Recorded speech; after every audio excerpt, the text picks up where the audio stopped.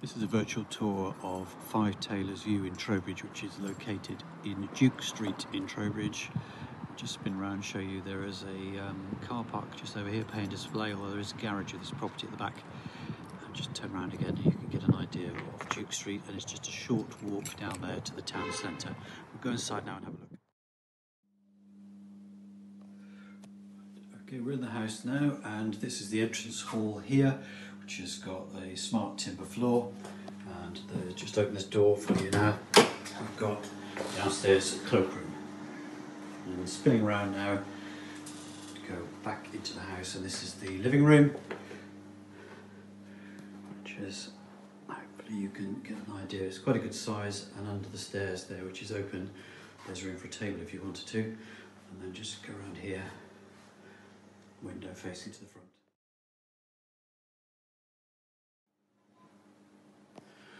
Okay, from the living room we've got double doors which lead into a dining room which again has got a nice smart timber floor. Double patio doors out to the garden which I'll show you in a moment and then beyond the end of the garden personal door into the garage. Just around here to the right hand side here's the kitchen area. We've got space here for a fridge and freezer oven, gas hob. I'll just open up the oven for you so you can see that's nice and clean. Extractor above, window out towards the back,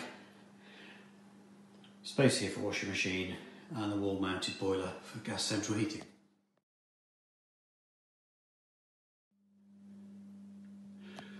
Upstairs, this is a traditional two-storey house. We've got three bedrooms. The master bedroom is at the front and it has got, uh, as you can see there, front-facing window and also fitted wardrobes, which hopefully you can make out, and a chest of drawers.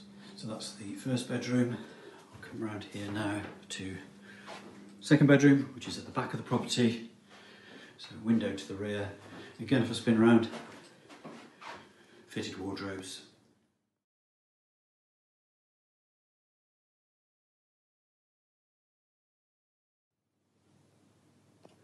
This is bedroom three, which is also facing to the rear of the property.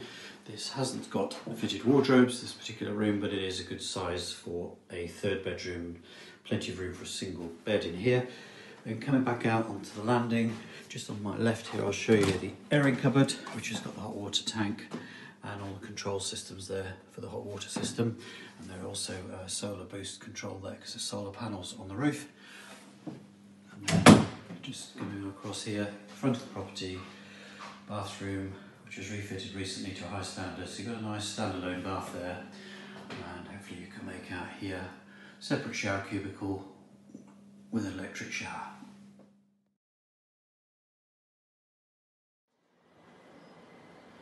With both the patio doors open from the dining room, we can just see out into the rear garden of the property. As you can probably make out, it's really nice, low maintenance. There's no grass here. It is a gravelled area, paving slabs, and there it's a door there which takes you into the garage. The garage is accessed around the side of the properties and has got an up and over door at the front.